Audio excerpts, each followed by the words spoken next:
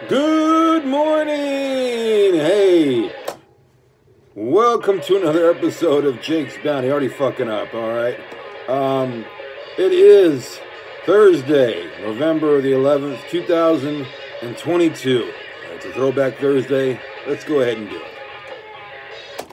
Alright, thank you very much for tuning in to Jake's Bounty. I'm your host, Jake Hernandez, alright? Um, want to go ahead and start off by thanking you guys for subscribing to my channel. I have 76 subscribers, and uh, that's two new ones uh, that I didn't have. So thank you very much, and also thank you for the views. All right, almost at 50,000. Uh, hopefully, I'll get there uh, by the end of the week. Uh, if not, I know you guys will bring me there soon. All right. Well, I want to go ahead and talk to you about music today. First, provided by Possession by Cream. That was their first album entitled uh, Living So Close to the Edge. And uh, let me see if I have the picture right here. Back from 2010, January 2010. Possession by Cream's first album, a double album, uh, Possession Received, and that was the song So Close to the Edge, all right? We'll also um, be having more from that later on, and we'll also thank our sponsors. We got Dog Training for Dummies over at Jake's Bounty, five ninety nine when you type in the word dummy, and the retro challenges, the trivia puzzles for the seventies and eighties. All right, it is also five ninety nine when you type in the word retro at my website. Okay. Well, let's go ahead and get into the news. There was some news. All right, nine month old baby was shot and killed in Merced. This happened on Q Street and West 12th Street, or happened 12:30 p.m. Uh, I guess a car just ended up driving by uh, a family of uh, two, you know, a woman and a man, and then the baby. Uh, they shot at, you know, both of them, and, and the baby ended up getting hit, and uh, I believe there was multiple gunshots from the car. All right, the suspect is still on the loose. If you happen to have any information Please let the Merced police know. Suspect rams car and steals van and then steals a truck during a violent pursuit uh, through Southern California. So he stole a truck um, first. I had the order a little mixed up. But anyway, he stole a truck and then uh, he stole a van and hit several cars in the process. Uh, he was first in a dark colored sedan, sedan, excuse me, not sedan, uh, sedan in Anaheim. And then he got into a white van stopped by a rear wheel coming off. Um, he was actually uh, blocked in by one of the cops and he still like maneuvered himself out of there and then his wheel came off and then he had to be stopped. All right, uh, elections have seven days to receive ballots. A lot of people have been asking, hey, how do we know if the uh, person we elected is um, going to be in office? Well, we don't for about seven days. Uh, some cases we do know earlier because it's you know it's such an obvious uh, win for somebody, uh, but in other cases we don't know. Um, let me go ahead and say that there are 30 days to certify these ballots, and one of these races that is so close it is going to take quite some time is Rudy Salas and David Valadao for the race for Congress. All right. And in similar news, uh, Governor Newsom wins second term. Bastard. All right. Uh, suspect uh, in fatal Tulare County hit and run turns herself into CHP. She is due in court November 14th. 31 year old Jimmy Slate Jr. was killed while pushing his bike on Avenue 144 south of Avenue 313. Uh, Jimmy uh, was a homeless person, fell on some hard times, and uh, he was hit by Shay DeJong. I believe that's how you pronounce her name.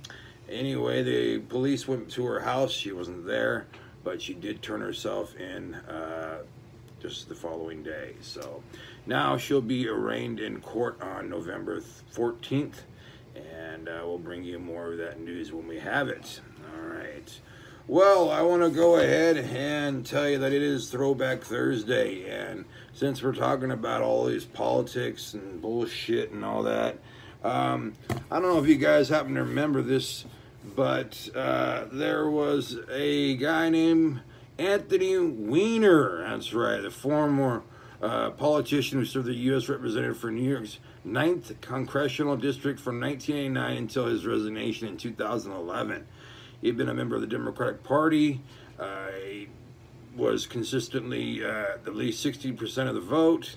And then uh, he resigned in Congress in 2011 after it was revealed he sent sexually suggested photos of himself to different women. All right. Um, a two time candidate for the mayor of New York, so Weiner finished his second in the Democratic uh, primary for 2005. He ran again in 2013. So even after he resigned and did all the sexting, he's like, no, I'm going to run for mayor.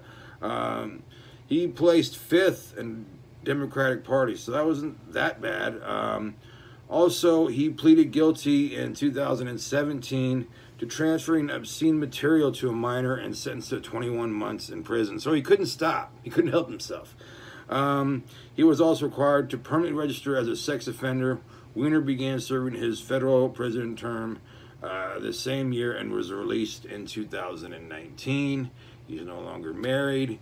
Uh, ladies, he's no longer married. He's 58. He's a former, no, um, but yeah, Anthony Weiner. Um, so let's throw it back to him and all his memories. If you want to go and look it up, uh, you can do so on many, uh, many sites. If you want to look him up on YouTube and other, uh, you know, video sites, you can as well because there's a wealth of stuff about there about Anthony Weiner. I guess he never really had it, uh, you know, a chance. His name being Anthony Weiner, of course.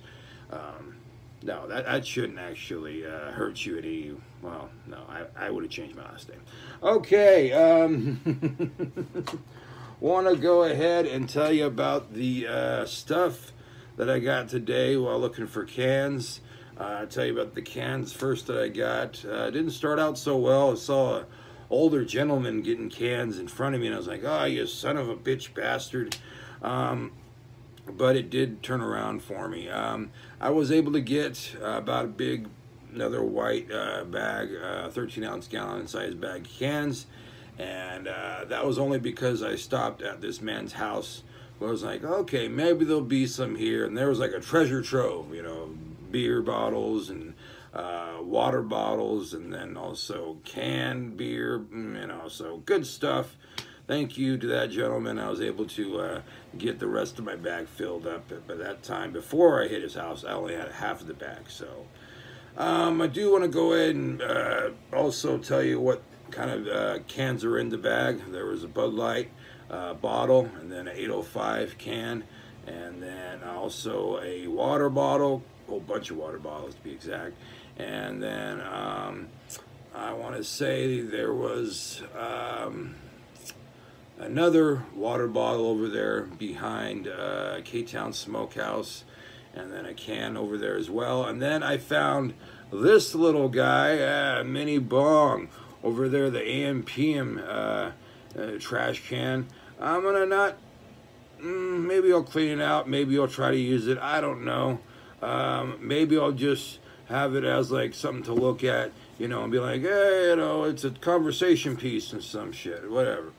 But yeah, I did find a bong on my excursion today, and uh, I'll probably smoke it up. But anyway, um, want to also go ahead again and uh, tell you guys about our Dog Training for Dummies book. We've got over here $5.99, which have the word dummy. But right now, it's the retro challenges, the trivia puzzles, the 70s and 80s. All right. So if you're a person of the 70s and 80s, uh, here we go.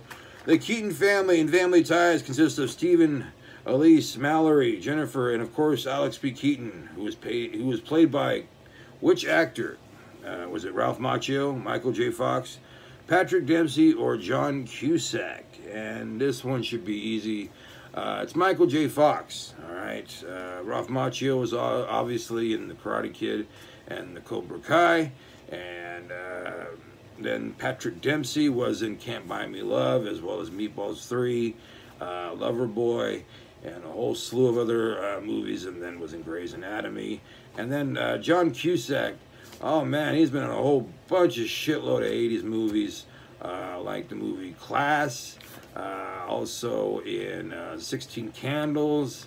He was in um, The Sure Thing, and the list goes on. He was also stayed busy uh, in the 90s and 2000s with such movies, you know, as um, Grosse Pointe Blank, uh, High Fidelity, uh, and many more. He's still, you know, very hard at work and very well respected actor.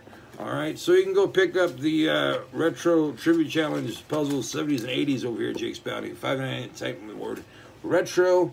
Again, have the Dog Training for Dummies book over here also at Jake's Bounty. 599 type in the word dummy.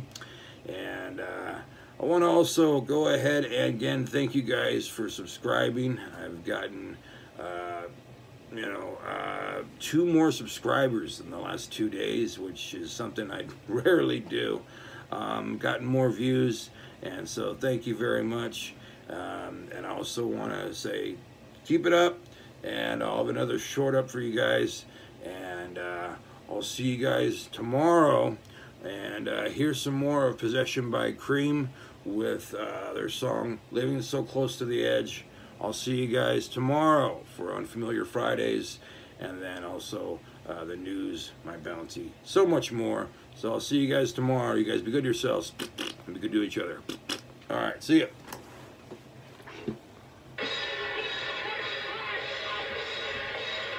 Jake's Bounty was formed at filmed, uh, filmed at Fornicate Yourself Records Production 2022. You can follow his Facebook, his channel's website. Leave a like, leave a comment. As always, please subscribe.